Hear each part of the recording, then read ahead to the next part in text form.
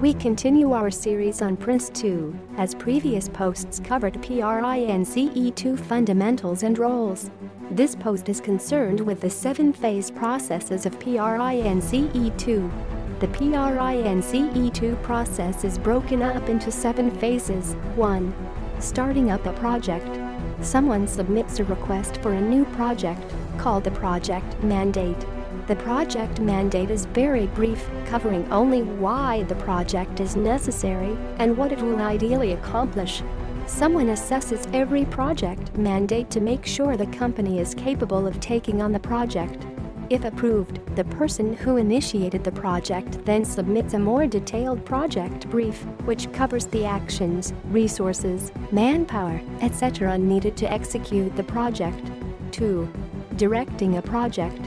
The project board reviews and evaluates project briefs based on business justification and viability for another round of approval-disapproval. The project board decides what it needs to do in order to organize and execute each approved project and what or how they're going to delegate to the project manager. 3. Initiating a project. The project manager creates the project initiation documentation, including a comprehensive project plan and baselines for six performance targets time, cost, quality, scope, risk, and benefits. Initiation documents are sent to the project board for approval. Once the board is confident in the project plan, they give their approval once again and work begins. 4. Controlling a stage. The project manager breaks down the project into smaller work packages and passes them off to team managers and teams to complete. The project manager oversees the progress of work packages during each stage and steps in to help overcome roadblocks or correct any mistakes, if necessary.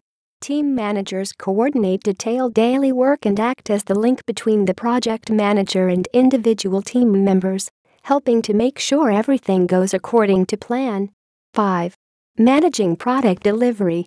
The project manager checks progress against the project brief and makes sure deliverables meet PRINCE2 quality expectations. The project board evaluates completed work packages and either approves them or requests revisions changes. 6.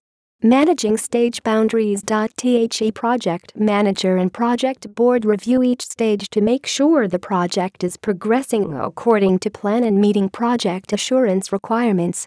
At each review, the project board decides whether to continue with the next stage or to abandon the project completely.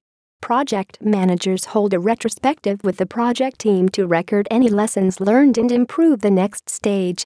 7. Closing the project. When the project is complete, the project manager wraps up any loose threads, including Prince2 documentation, outcomes, and reporting. Types of PRINCE2 documentation. Throughout the seven stages of Prince2, records are kept, so the project stays organized and on track. These records are also used to report to the project board check deliverables against quality requirements, and improve future work processes.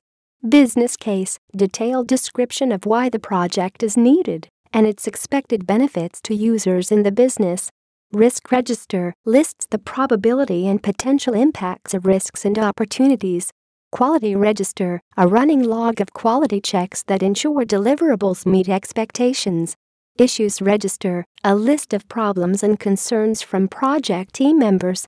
Lessons Log, notes on lessons learned to apply to the next work stage and or future projects. Daily Log, a daily diary written by the project manager that reports activity in progress. Prince2 and Project Management. Interested in learning more about project management?